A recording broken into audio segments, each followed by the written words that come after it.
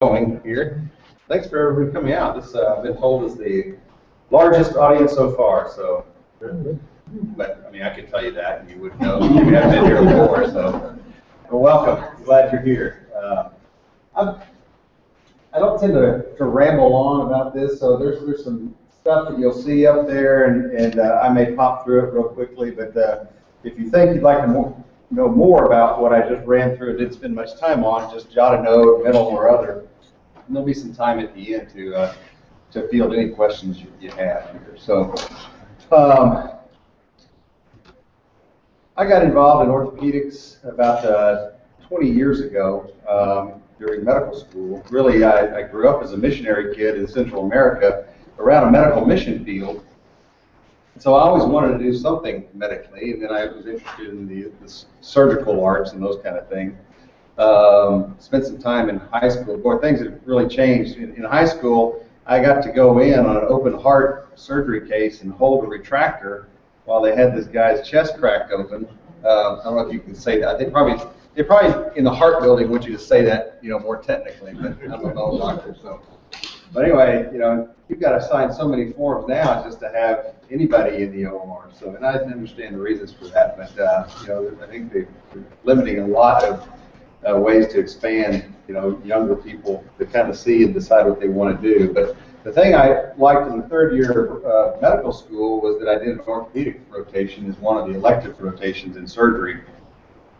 And uh, actually, I, remember right now we were doing a, uh, a knee replacement, first one I'd ever seen, and uh, they got all the parts in except for the last bit that was um, uh, the plastic insert that goes in there. It took he put it in there and he let me hit the hammer to knock it in. It made this nice little click, and I thought, this, this looks like fun. We can do this.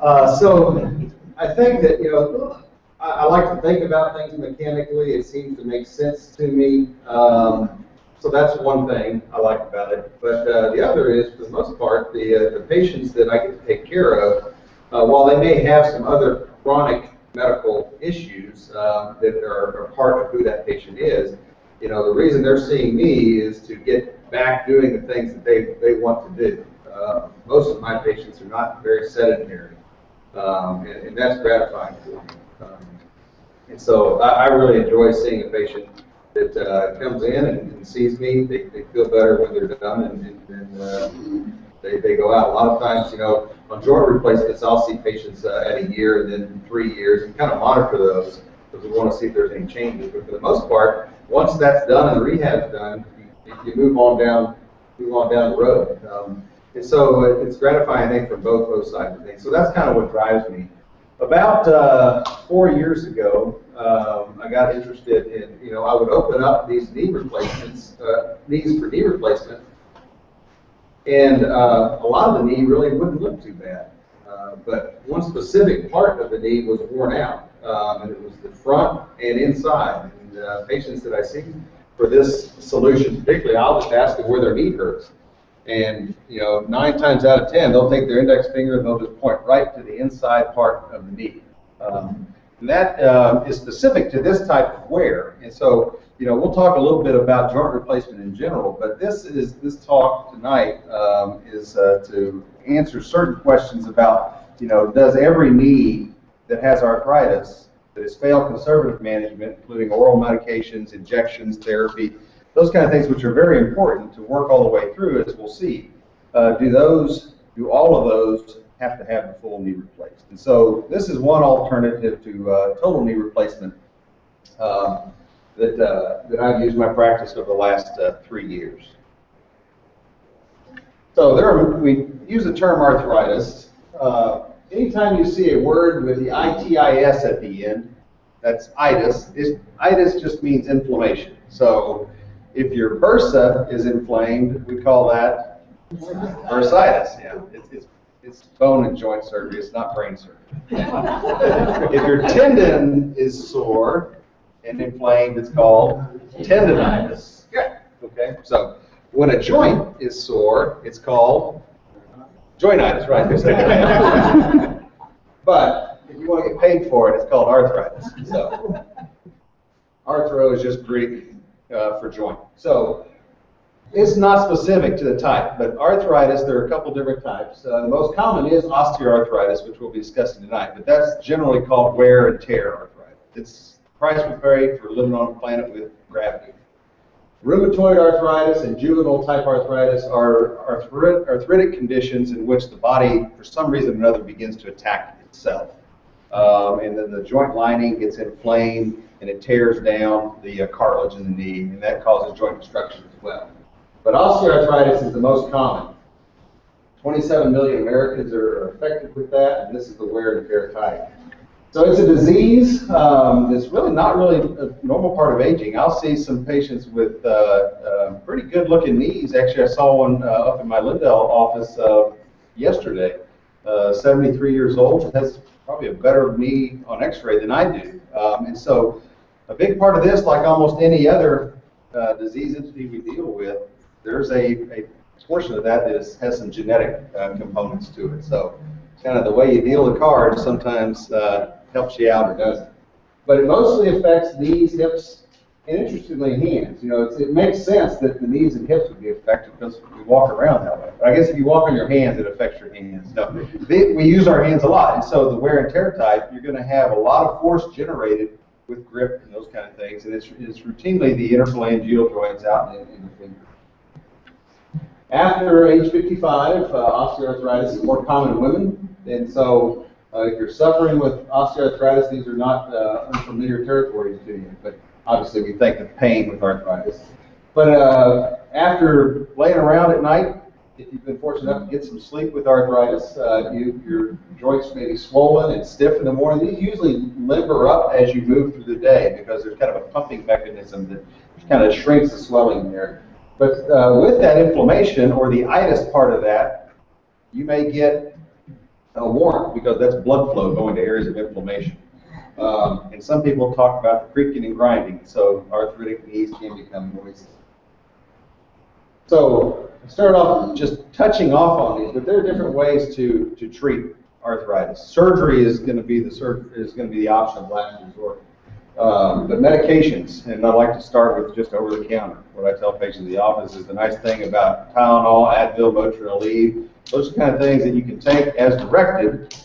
Um, you don't have to call your doctor to get a refill on those. Um, you have to kind of monitor those, and there are some people who should and shouldn't take those. And your primary care physician probably will talk about that. Physical therapy, I hear a lot. You know, I want to do physical therapy, but it actually seems to make my joint hurt more. Um, and that's not uncommon when you get started, but but uh, we'll see here in a minute that one of my favorite things to say is motion is lotion. If you're moving, that keeps the joints lubricated. And then weight loss, we'll touch on that. Uh, that kind of makes sense, but I'll give you kind of a key thought that may, may encourage you in that. And then assistive devices for, for important reasons, canes, walkers, those kind of things. Although we sometimes don't like to use those just because of the way it looks, that's understandable. There are good reasons other than just how it looks to use it. And then as we get more invasive, we'll talk about injections. And then finally, there are different ways to, uh, to uh, treat these surgically. So over the counter, which is what OTC stands for, over the counter, I mentioned Aleve, Advil, Tylenol, Motrin, different drug classes, they work in different ways. Tylenol is uh, routinely, most of the metabolite is excreted through your liver, so it's kind of really our last kind of thing to offer people if they have significant kidney disease and can't take those other medications. Uh, when those fail, along with the other uh, modalities, we'll, we can do prescription medications. Uh, naproxen, which is a prescriptive dose of the Aleve, uh, Relafen, which is uh, nabumetone, Mobic, there's Celebrex. So all of these are kind of, this, this row here is non-specific anti-inflammatory medicines. It's basically just going out there and trying to knock down all the inflammation. Um, it's a, because they're not specific, they're usually a little bit cheaper, uh, but there's, they're not as specific, and so they can cause a lot more GI upset and cause problems like that. That's why medications uh, like uh, Celebrex is, has been designed, and those are given with a uh, specific um, area to attack and what we call the inflammatory cascade. It's kind of technical talk, but there's part there's different chemicals in your body that get released when there's uh, insult, injury, arthritis is one of those. And so what this medication does is go and actually block that chemical from attacking in uh, the joint, and so that decreases inflammation, and so you feel like uh, your, your knee feels better. The arthritis is still there, but it's kind of masking. And then there are topical gels like uh, Voltaren gel, diclofenac is the uh, prescriptive name for it. So here it is. Physical therapy is important because motion is lotion. If you move it, you'll lose it. So move it, don't lose it. And then I like to say PT is the key. So you've got to basically keep moving. It does a lot of things for you. It maintains flexibility. A joint that is more flexible and strong, even if it has arthritis, it makes sense, is going to be going to feel better than one that's stiff and weak. And if you end up needing to have surgery, it's going to be a lot easier for you to rehab a knee that is stronger and already more flexible. Because certainly with uh, joint replacement, total joint uh, replacement, or replace the whole knee in general, you know, the knee motion you have before surgery is pretty indicative of what you can probably get afterwards. And oftentimes that's because of the big bone spurs back there mechanically blocking motion in the knee. You just can't bend it. Well, whenever I replace the knee, I get all that motion back. I'll get it back where you can touch your backside with your, your leg, get your leg all the way up straight. We straighten up the bent knee. But we do that over about the course of an hour. Your muscles don't realize what's happened to them. So they haven't been able to slide that far in that time. So it really takes a lot of work to gain all of the advantages that we get in a quick operation. So about weight loss, you know, the pain with osteoarthritis, a lot of it just is a physics problem. You know, it's the amount of weight per square area. Um, so it's easy for me to see a heavier patient say, "Hey, you just need to lose weight." And I know that's an easy thing to say, but uh, what I try to encourage people doing is not losing a lot of weight real quickly. First of all, I think we've all tried to do that, and that doesn't last very long. Um, it's usually a lot of that's water weight, and uh, we really haven't changed who we are or our metabolism. And so what I do is tell patients to really aim for losing a pound every two weeks. And if you do that, you're going to lose about 25 pounds in a year. You think, man, I need to lose 50 maybe. Well, that, that may be true, but if, if you lose just one pound, your knees actually feel like you lose five. So over that year, your knees are going to feel like you lost 100 pounds or more. And that's going to make a significant difference. The patients that I've had that have actually done that have been able to lay, or some of them still haven't had their knees replaced just because they've got the weight on. There are different assistive devices, bracing. Bracing is great because it can offload the knee and move your knee into positions where it's off of the area that hurts. But the only problem with bracing is what? It's temporary. You only it only works if it's on. Yeah, and that's great in weather's like this. But in about another probably tomorrow, but a couple of weeks it's going to be 100 degrees, uh, and that's not very comfortable in, in Texas. Uh, but it is a certain, it is certainly a way and an option that I give patients um, for uh, knee arthritis. Canes um, and walkers. You know, they, they're, they're cumbersome. It's also something that only works if you have it with you. But what we have found is that over the age of 65, the number one cause of hip fracture in patients is osteoarthritis. And secondary to that is, is going to be the balance. But it's not the, the arthritis itself. But we've all walked around and tripped. You know, trip, you reach out, you catch yourself. Well, if you've got a bad hip or a bad knee, it hurts to move it. Your body has really already told it, we're not doing anything fast because it hurts when we do it. Okay? I can get around slow, I'm okay. But when you trip and catch your toe, you're, you're going to want to throw that out there and you're just not going to get there, and that's when you fall. And so, without those, then you're kind of sitting down this way. Right? And uh, unless you have the life alert, you know. I don't think we're sponsored by them, are we? All right, forget what I said. I only work on residuals. Different types of injections. There are two major types: steroids, which we've all heard of, uh, cortisone shots. You know, football knees. You can come in halftime. No one really does that. Well, I guess if you're getting paid a million dollars a game, you probably would. But basically, this is a big anti-inflammatory, just like the oral medications we were talking about. But this injection goes right into the knee, so it's a great fast-acting pain relief. I usually tell patients it's going to take 48, 72 hours for that to start helping, so I mix it with a little numbing medicine. Patients oftentimes will feel better as, as they leave the office. Um, and so that's the one that's most common. I don't repeat any type of injection closer to six months apart because I think that's self-defeating. Um, if that's not taken care of it, then we're missing the boat. We need to look for something else as a cause or a solution to the problem. So that kind of puts people in a bind sometimes. They think, yeah, my knee hurts. The injection lasts three or four months, but I don't want to really have my knee replaced yet. Is there anything else we can do? Well, there's another class of injection that's called uh, viscosupplementation, which you may have heard it as rooster comb or something like that. Basically, those are just collagen that's been uh, manufactured and broken down. Really what that does is it tries to trick the lining of the knee. That's that lining that gets inflamed, whether it's from osteoarthritis, wear and tear arthritis, rheumatoid arthritis. That's, that's where a lot of that pain comes from, the swelling or the itis in the lining of the knee. And so this can take a little bit longer to get started, but sometimes it can last longer because it really tries to genetically change the type of fluid that the lining of the knee makes. The problem with that arthritic fluid is it's very acidic and it goes ahead and breaks down more cartilage. And so you can have a knee that's inflamed and stiff, um, and you can inject uh, the steroid and that will knock that down. But when the uh, inflammation, arthritic fluid comes back, it just continues to break down cartilage. And you get in this, this uh, vicious cycle. Uh, so these two, uh, I, I sometimes have patients that I will inject every three months, but we'll just kind of leapfrog the type of injection that we. So I'm not doing any of them closer to six months, we're trying everything we can do to prevent uh, surgery. but when those don't work, the therapy, weight loss, medications, injections, then I basically have a conversation uh, with you and we say, you know, you basically have you have a couple choices. Um, you can live with it like it is, and that, that's fine because uh, some of you are my patients. You've heard me say there's only two of us in this room, and it really only hurts one of us. Uh, but so it really is up to you. But if it still bothers you, then that's something we need to be a little bit more aggressive about. And there are a couple different routes. There are arthroscopic surgeries, which are day surgeries. Really, very little type of rehab involved. It's really just a clean out surgery. And so, um, you really the only, the only indications for doing that in the setting of osteoarthritis or wear and tear arthritis is when you have a mechanical symptom, something that's catching in your knee, that's not letting it go through the normal range. You just go in, just kind of wash and clean out the knee, you'll get kind of a placebo effect from that. It'll feel good for a couple weeks, six, eight, twelve or so.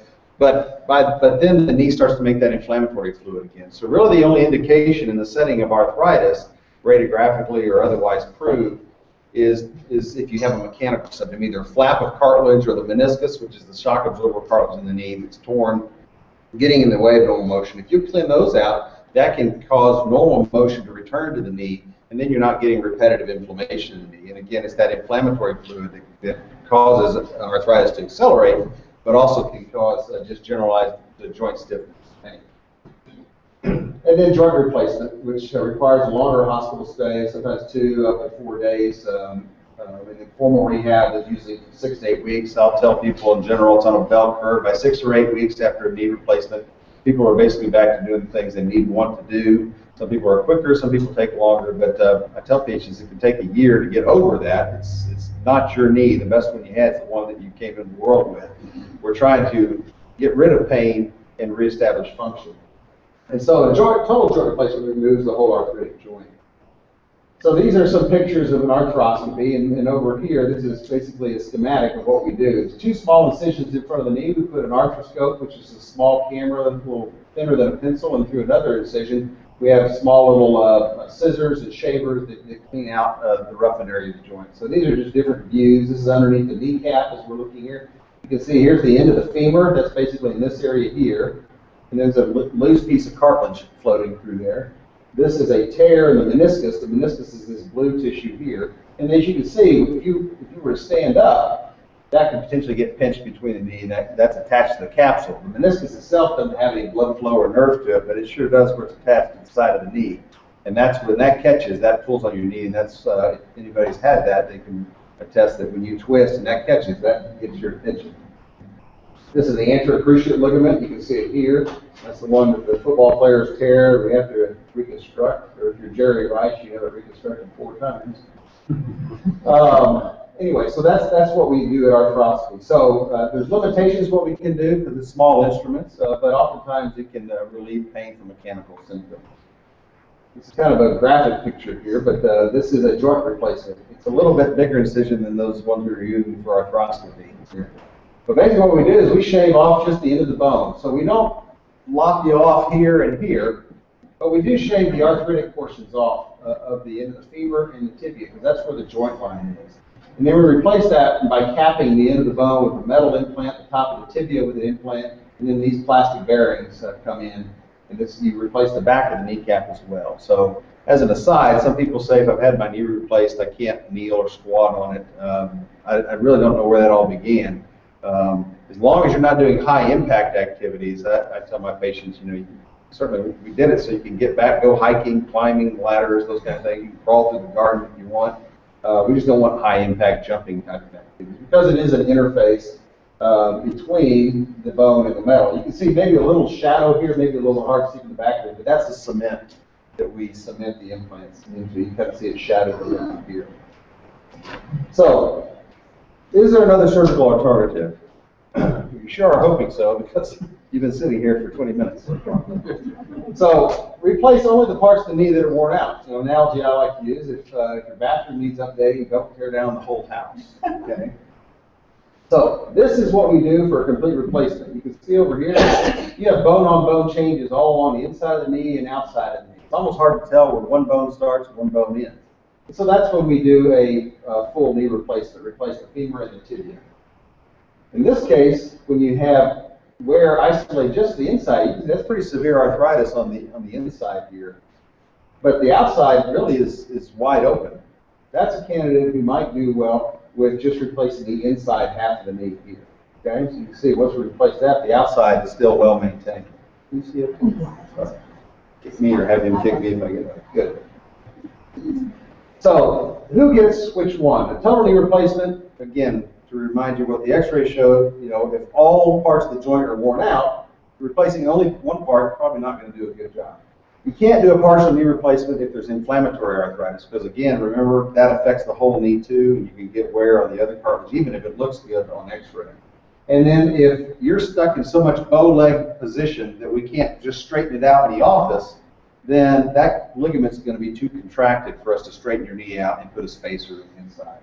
So basically, patients who don't meet those criteria uh, might be a uh, candidate for a partial knee replacement. Those are for isolated disease along the inside of the knee, uh, wear and tear type of arthritis, again, not inflammatory or rheumatoid, and that we can correct that bow leg deformity and that their ligaments are stable. We showed you that picture, the ACL ligament. I mentioned Jerry Rice tore that a bunch of times. Well, that one is very important. That ligament being intact and not having been injured is important because that keeps the knee rotating on a pivot. Okay, if that one's gone, that's when you get, this is a good East Texas term, wallering around of that knee. Okay, and then that's where you get wear all across the knee, back and forth and side to side. So it's not a balance. But when that anterior cruciate ligament's intact, you get that pivoting, and it's a very distinct wear when you open the knee up. It's worn right on the front of the tibia, anteriorly and on the inside, so it's called anterior and medial arthritis, and just in the mid-flexion portion of the knee, uh, on the end of the femur. So again, this is uh, isolated arthritis on the right side and left side shows you all of that. So what we do is we do a uh, correctable x-ray where we're under fluoroscopy. We, we try to see if we can correct that knee alignment. And what we want to see is that, yeah, we correct it. It's not, any- it's not bone on bone anymore. See all the space over here? But almost as importantly, the space over here maintains the same relationship. What that tells us is that I'm stressing this knee, and it's causing a fulcrum on intact normal cartilage on the outside of the knee. If we were to do this, and this collapses all the way down, then we know that the reason that this is not showing is you just have so much bow legged that you're not even using that side of your knee, but it's worn out as well. So, uh, we need to have intact ligaments, and this needs to be able to be corrected. Okay, so the implant that I use is, uh, and this is probably, it's probably 36 year anniversary now, but it's the most widely used and clinically proven partial knee system in the world.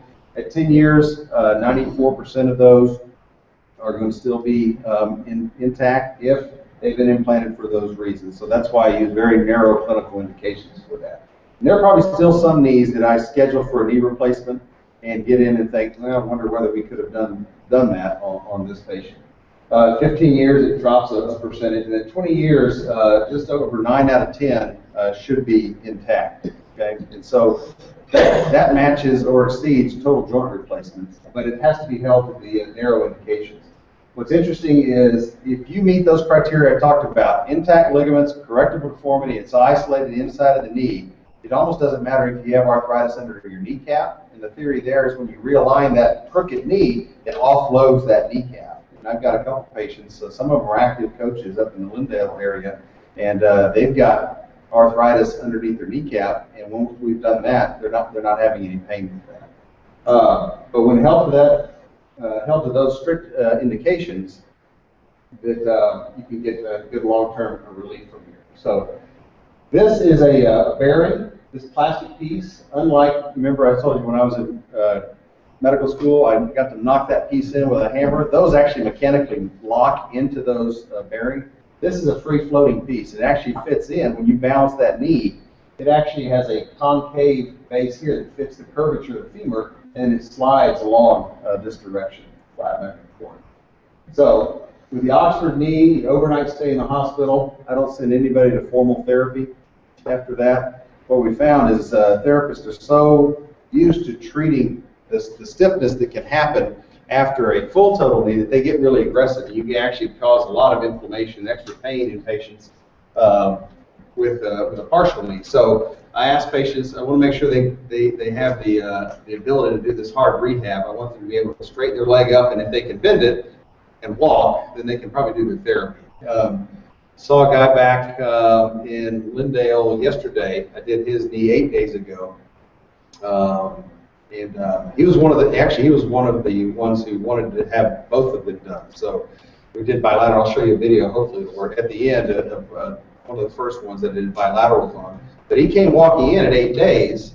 Um, he had a little bit of swelling he was concerned about, and I always tell patients, I'd rather have you come in and have it be nothing than have you wish you'd come in and be something. Because with infections, those kind of things, you want to move quickly. The um, uh, he, he looked fine on his exam, and I'm going to see him next week to do the, the regular workup. But what he had told me is that uh, he was feeling so good when he got home, he decided to start doing his two mile walk again. And so he hasn't done any damage except cause himself a little bit more pain. But I've had folks out um, uh, trying to play golf within those first two weeks, and it's just one of those things where patients tell me that their, their knee feels like their normal knee again, whereas a, a full knee replacement takes care of the pain, but there's a mechanical type of symptom. Uh, smaller incision. Uh, people will often ask me how big is the incision going to be, and I say big enough. Um, they say, yeah, that's funny. Really, how big is it going to be? Um, you know, usually it's about a four, a four uh, inch incision across the, the knee, a little oblique. You'll see a couple of those uh, on here in a minute. Um, but basically, I tell people uh, incisions heal side to side, not end to end, so it doesn't really matter how long it is. Really, what we want to do is just enough so that we can see what we need to do. The nice thing about these incisions is it doesn't go up into the muscle or the tendon like we do on knee replacements. Um, and so that's why you get get that motion back and, and less scarring and. Uh, so it preserves the parts of your knee that are normal. Uh, basically, we're just doing a resurfacing, taking out the, the worn out parts. And with that, you get a quicker return to motion, strength, and activity. Uh, so this is uh, this is at, uh, one of the first uh, bilaterals I did about three years ago, and this is he, he doesn't even remember this video being taken because this is immediately in the postoperative recovery period. Know if it's, yeah, I can do it over here.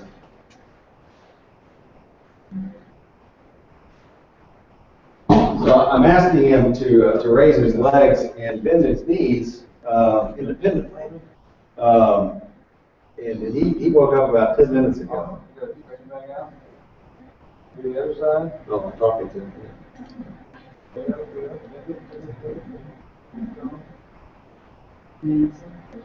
So,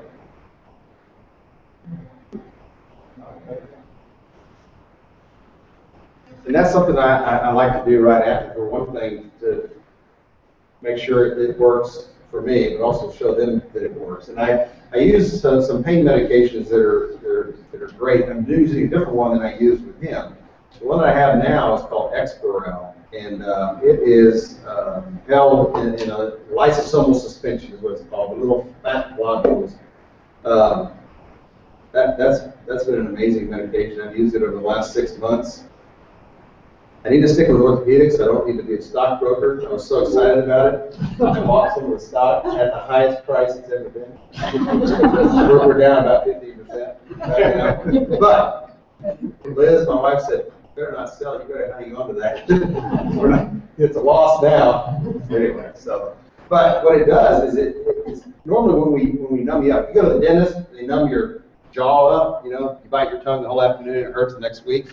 But that numbing medicine wears off in an hour or two or so. This actually holds it in suspension in the soft tissues for about 72 hours, so three days.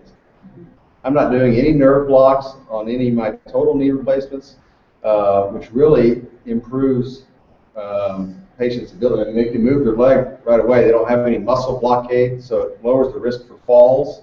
We've had some falls uh, from those kind of things. You can get fractures around there. And that's not a fun thing to, to you know, I operate on Tuesdays and Thursdays.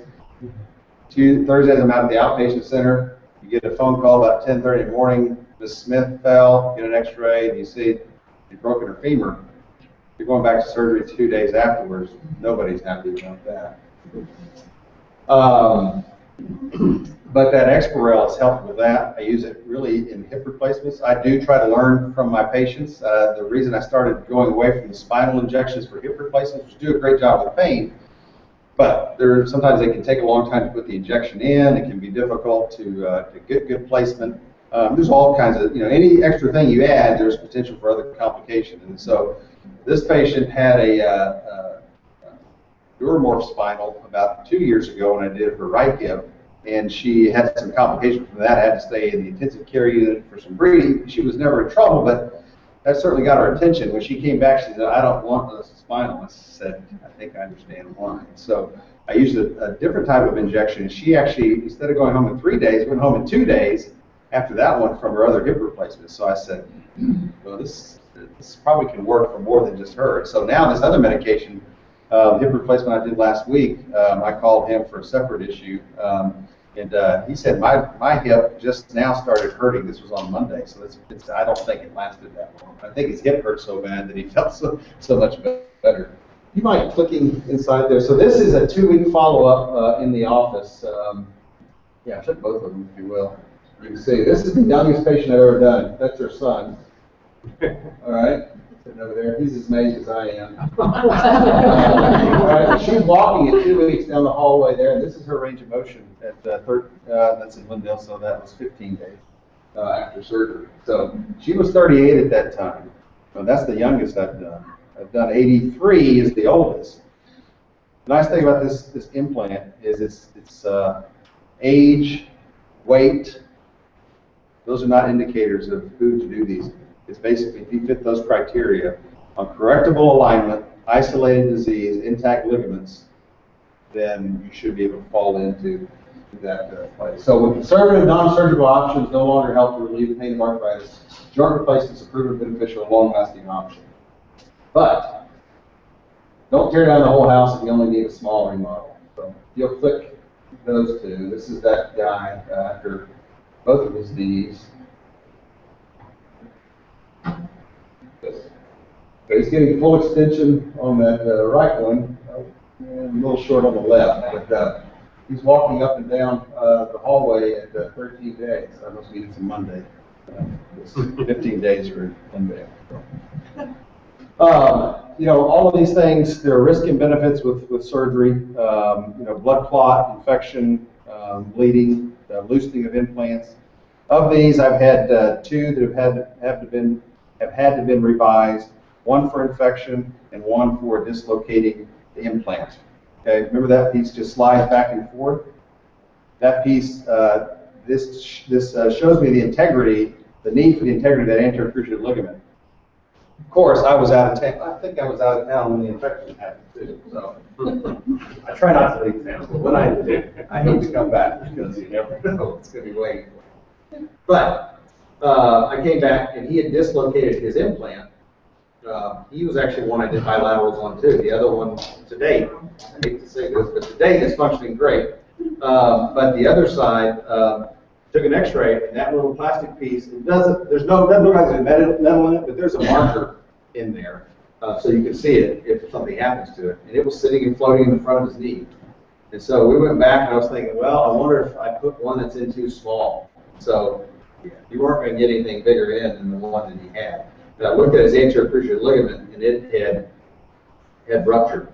Now, either, um, he got back pretty aggressive too, um, but either it ruptured after surgery, or one of those things that I didn't recognize at the time that it was uh, not as confident as I thought it was. Regardless, uh, he went back to have a revision uh, surgery uh, and did well after that. What I have found on those two occasions is that, you know, because this is a resurfacing procedure, we're not taking away a lot of bone, we do save most of the other bone. So converting that over to a, uh, a full uh, total knee implant um, is uh, as straightforward as something like that can be. So um, that's been encouraging. You know, if doing this was something that only got people five years down the road, you know, then you kind of wonder whether that's that's what we need to do. But really, the goal in my hands is that this is a procedure that, that lasts a long, long time.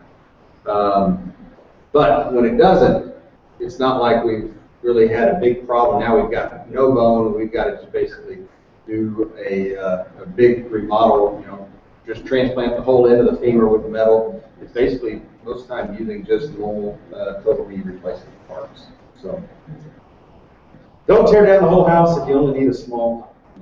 So, That's, uh, uh, longer than I wanted to speak, probably, yeah. Uh, But, uh, I really enjoy the procedure. Uh, We have a disc uh, that you're welcome to pick up on your way out. Um, It was always available on YouTube, it still is, but it's easier than writing down that address every time. So I've had the department make up these discs, and they should work in most standard DVD players. Um, It's about a five-minute um, discussion, really goes over all the indications I've talked about, has some live surgery uh, pictures in there, um, so beware, I think it's around a minute, two and a half.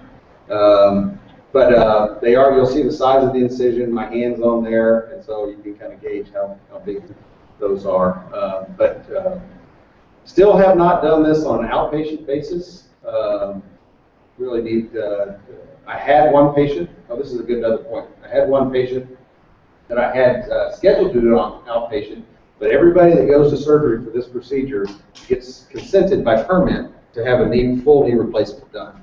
Because I don't want to get in there and then find out that either that you do have arthritis in the other side of the knee, or you've got a a ligament that's incompetent, uh, and then just close it up. So we're either going to do a partial or a full. And there have been two patients in my practice that went to sleep, crossing their legs and their fingers, hoping for a partial knee, and woke up with a total knee.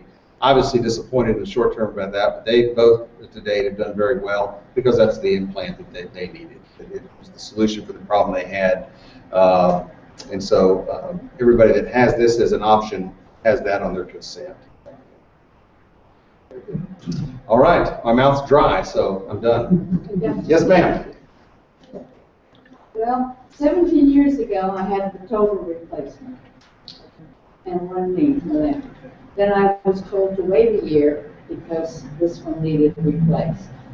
This was 17 years ago, and I was given the rooster count for Dr. Stein, and this is with you. Uh, sure. And he says I, that, since then, of course, I have two hips, a shoulder, and a lot of other stuff. And I'm 80 years old. And I've lost the weight and done everything that they told me. Would I still be a candidate, or would I still have to have the total replacement? That would, uh, a lot of that would have to do with what your x-ray looked like. So the question is, she's had one knee replaced 17 years ago. Um, The other knee, been told she needed to wait a year to have the knee replaced, uh, but she's uh, finagled her way out of that for the last uh, 15 to So 17 years. That's good, yeah, she's babied it. She's had a lot of the treatments we've talked about. But so no, but I, but I'm on my feet constantly. Yeah, and she still wants to stay active, so her question is, is she a candidate? So, uh, you know, got tongue in cheek, everybody's a candidate until proven otherwise, but, uh, I but don't, I don't want the total. right, right, but to prove it otherwise, you would need to have, uh, an x-ray and a stress view, as well as, uh, an Well, you evaluation. told of me three years ago that I needed the total. Okay, I don't know that if, if he does this, or is it just you, or, it's just me right now. Um, he would refer me to you, I'm sure. Put you in the We're getting along system. okay. Yeah. Well, he told me he didn't think that the, uh, the problem would work when he first did it, and it did for two years, so I mean, Yeah. it doesn't work anymore. Did that answer your question? Yes. Okay. Thank you. Sure. I know this is pretty quick and, and the like, but, uh, driving. Yes. Now, with the total. Oh, yeah. While, but, uh, Yeah, I, I really tell patients, you know, let it tell you what you can do. So the question is, I, I guess, how quick can you drive? Because his experience has been, has been with a knee replacement, you're not quite, quite giving your freedom right away. Uh, So how quick can I have my freedom back? Is that what you're asking? Yeah, and my wife says to do the other stuff around here you need to do. All right, right. So the question is for his wife. Uh, But yeah, um, you know, as soon as you feel comfortable and safe to do that, uh, yeah. I really, um, it's one of those things that it seems almost too good to be true. Um, So you better start asking more questions. But, but really, uh, usually I can count on people being sore enough in the first week or two to really kind of limit themselves. But um, it really, I'm not getting into the muscle, so, you know, all of that strength should be there. Just That's the difference in the pain levels from Oh, yeah. a total replacement and, and the partial. Right. Are you, are you asking what the difference is, or are you just saying? Yeah, well, the total replacement is pretty painful. Yeah. So you told me. Okay. Any other questions? Yes, sir. Can, does, can arthritis in the hip cause problems with the knee?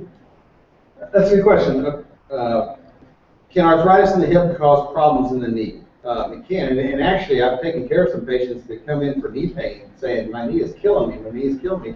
Examine it, moves pretty well, Uh, take x-ray, it actually doesn't look too bad, really.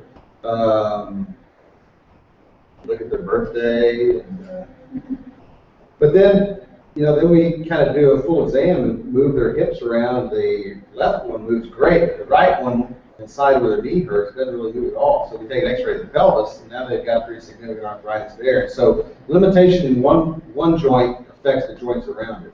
That's pretty, pretty strong teaching. I don't do any spine surgery, but, you know, whenever you have a spine fusion, your body's gonna find motion someplace. Or foot fusion, ankle fusion, that's why you get transfer arthritis. You get arthritis in other joints adjacent to those joints um, that aren't moving as well, because your body's gonna move one way or the other. We, we don't want to be uh, static. So to move, your body's gonna find ways to move. So if one joint's locked up, then yeah, you can get transfer pain. Yeah. Did that answer your question? Yeah. Yes, sir. I've got, um, two sons that live in Dallas. Yes. They keep seeing these full-page ads in the Dallas Morning News. And they say, Dad, you need to come to that. And I tell them, no, I can get done what I need in time. Is there any kind of a miracle thing going on in Dallas?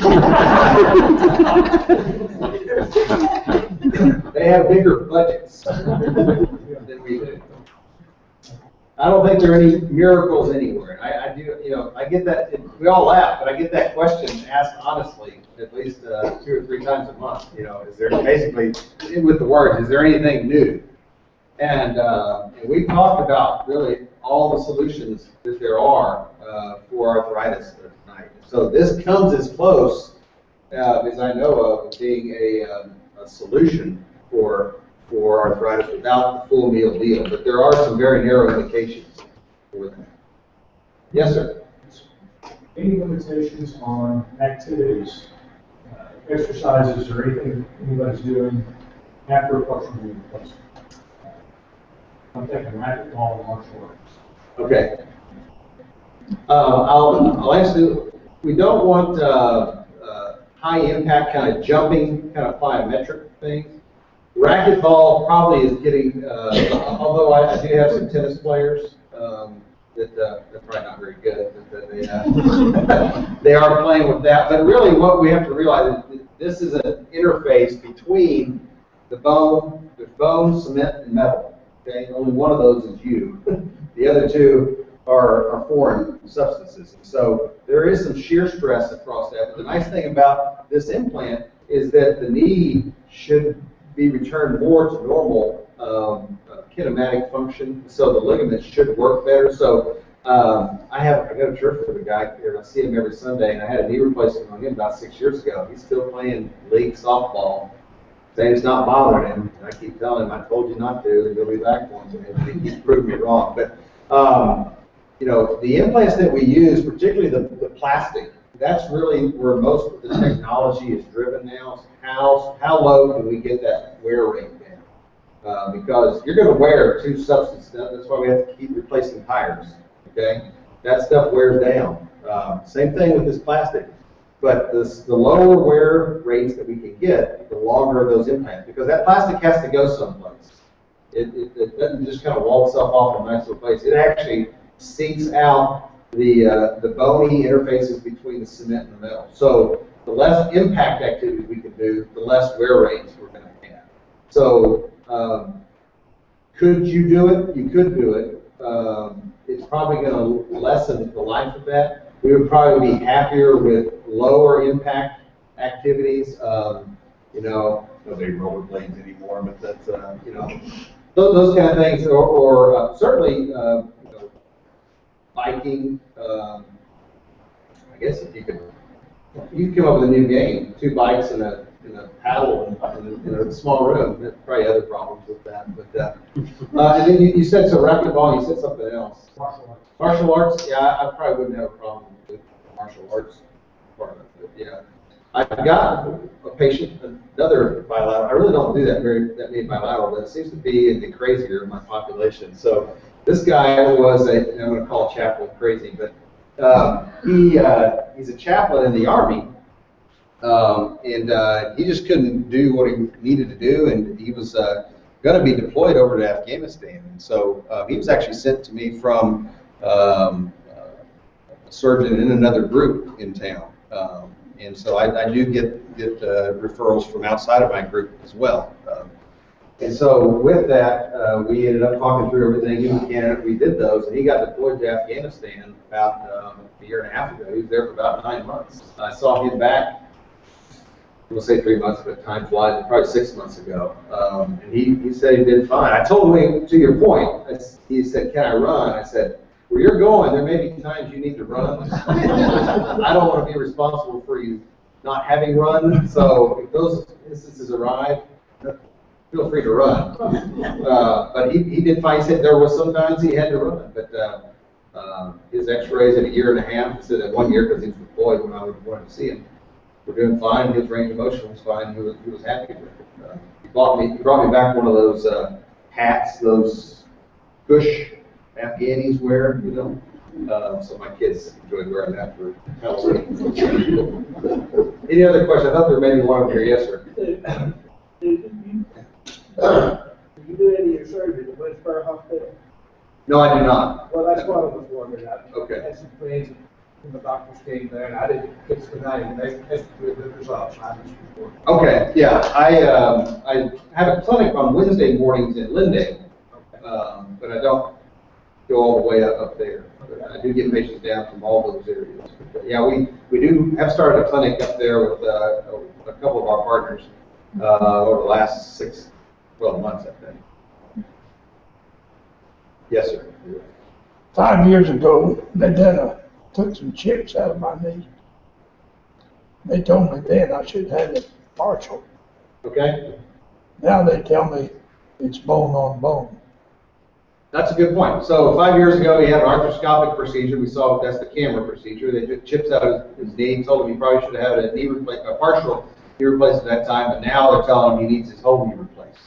Um, and that may, may be the case. Um, to identify whether you're still can for this, you need the stress x-ray and those kind of things. But the natural history of a lot of these arthritis, the bow leg is the most common. Sometimes the knee goes the other way. That's another instance. But the natural history is you get this wear over here, and then as you lose that space, you start to get these bone spurs. And this is the McCown theory. It's not really written anywhere else. But those bone spurs, I think, really are kind of elbow curve feelers that are put out uh, to really try to tension those ligaments because your knee gets sloppy as it wears out. And if you get more tension on those ligaments, then you can kind of feel more stable. But part of what those ligaments do as you move your knee through the range of motion is it can act like a knife blade and it probably ends up cutting that ACL ligament. And then you don't have that important ligament for the partial knee, and then that's when you get the wallering around, and that, and that starts to wear out the other parts there. Yes, sir. On your x-rays there, where is the fluid in the knee, and what parts is it playing in the operation? Where's the fluid? Yeah. Okay, let's go back to, Here we go, right. So this is the uh, joint capsule and the ligament on the side here. So this is all an open potential space here. So when we do the injections, we go in where we put the camera in. So the question is, where is all the fluid that you've heard gets drained off and those kind of things? It actually is made by the cells that line that knee. And they, it makes fluid when there's inflammation around. Uh, And what it's trying to do is lubricate the knee to get it moving better. But if it's inflammatory, it causes pain, and that, that, that doesn't feel good. So that's why we drain the knee, um, and sometimes put cortisone in to decrease that. But that's where it lives. It actually is made by the lining of the knee joint all the way around.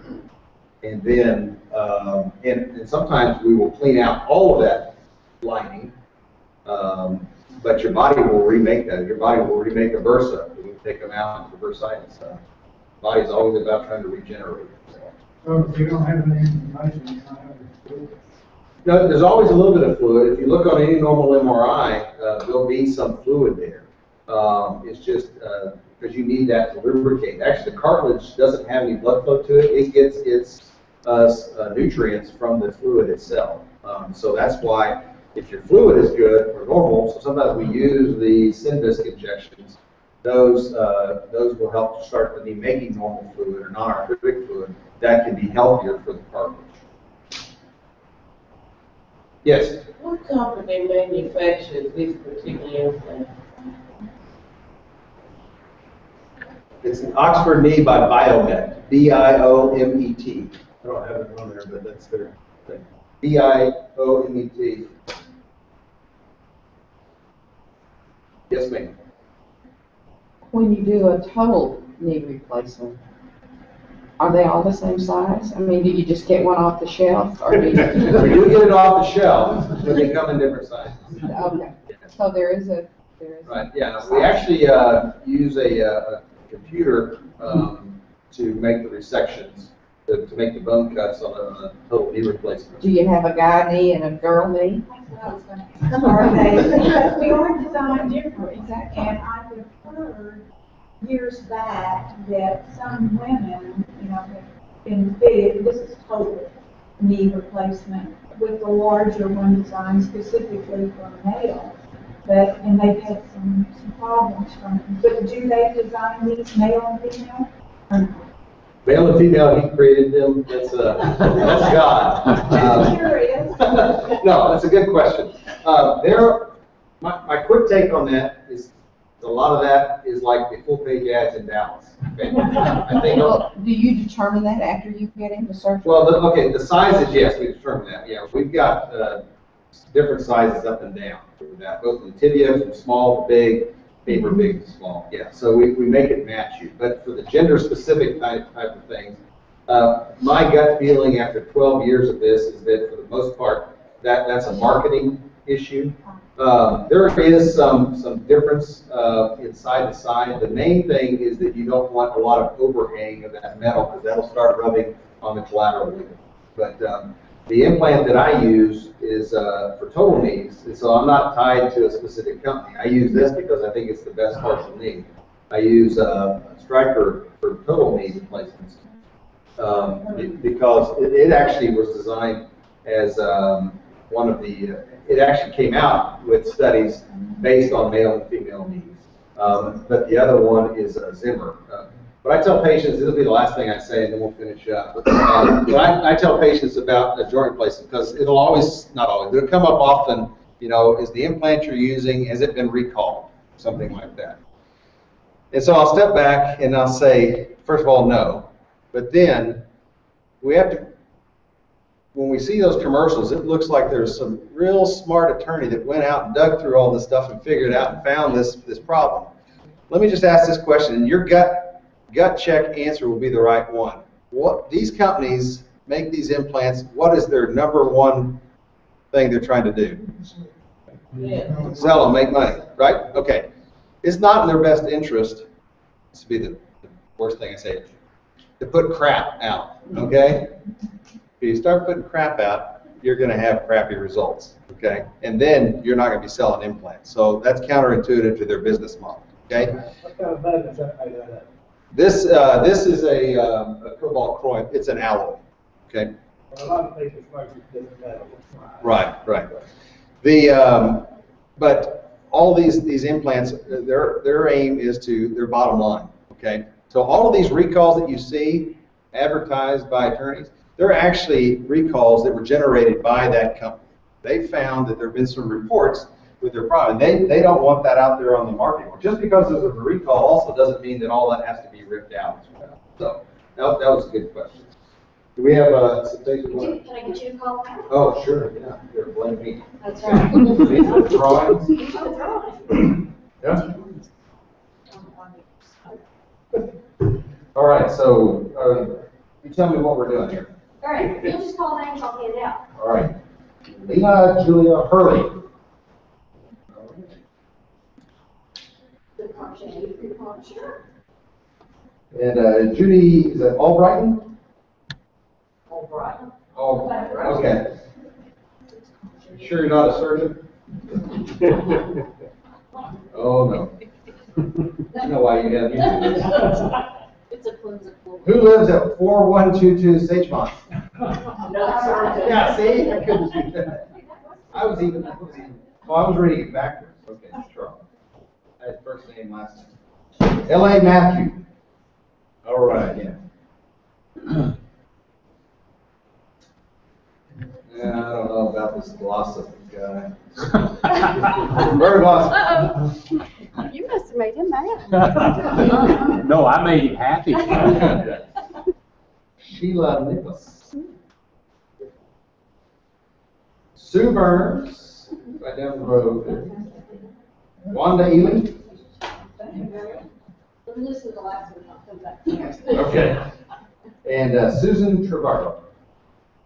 All right. And if I can ask one question, um, did anybody, we, we changed up the way we sent out our invitations this month.